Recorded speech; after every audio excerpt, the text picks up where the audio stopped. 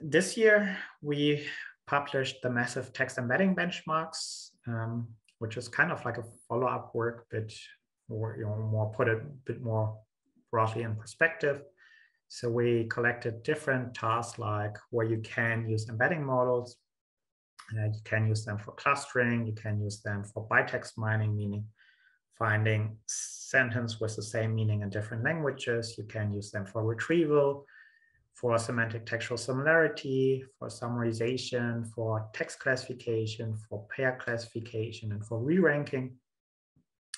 And so we so so this is like a project that started also a really long time ago. So when I published the sentence BERT paper, sentence informer papers, it showed good results on STS and SentEval, which was like the de facto standard in embedding evaluation.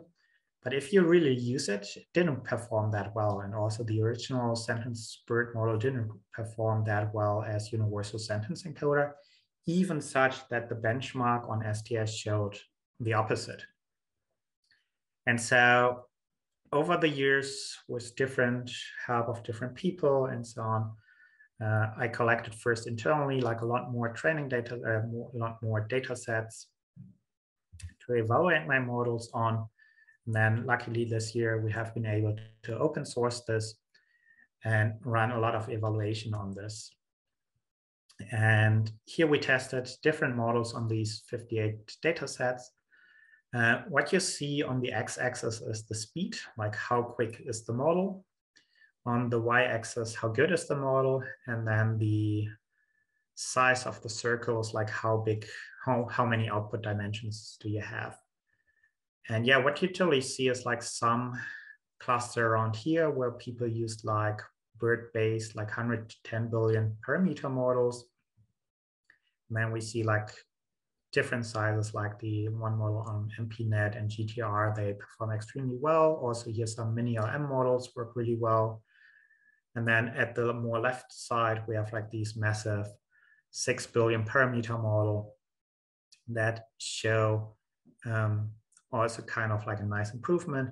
But if you really compare the difference between like this model, so here the center point and the MPNet center point, the difference is not so small um, but it's like two two magnitudes slower than these smaller models. So I always found like this interesting to find like a model that's not only good but also really fast.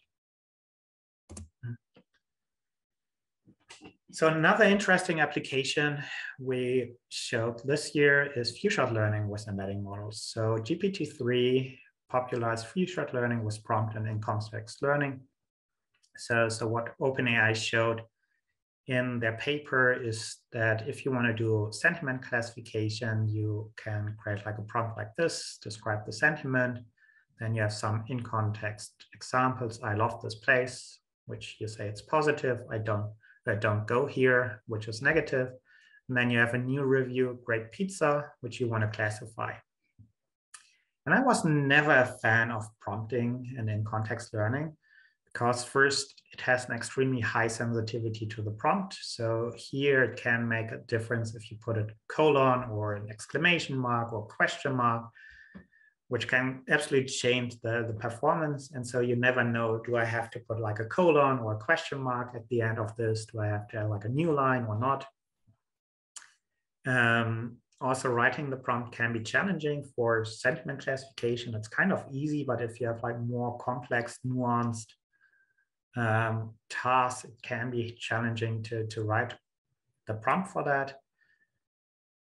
Further challenge is you have limited context length. So the original GPT-3 can do like up to like 2000 word pieces. So if you have like longer examples, like movie reviews, you might can only present like 10 training examples. But what happens when you have like 20 training examples or 100 training examples? There's like no way how you can use these in an in-context learning example. And also you have quite high compute overhead. So the, the encoding um, com time complexity is quadratic with the length uh, of the input. So if you have to provide like all these examples at every call, you have like a lot of compute overhead to it.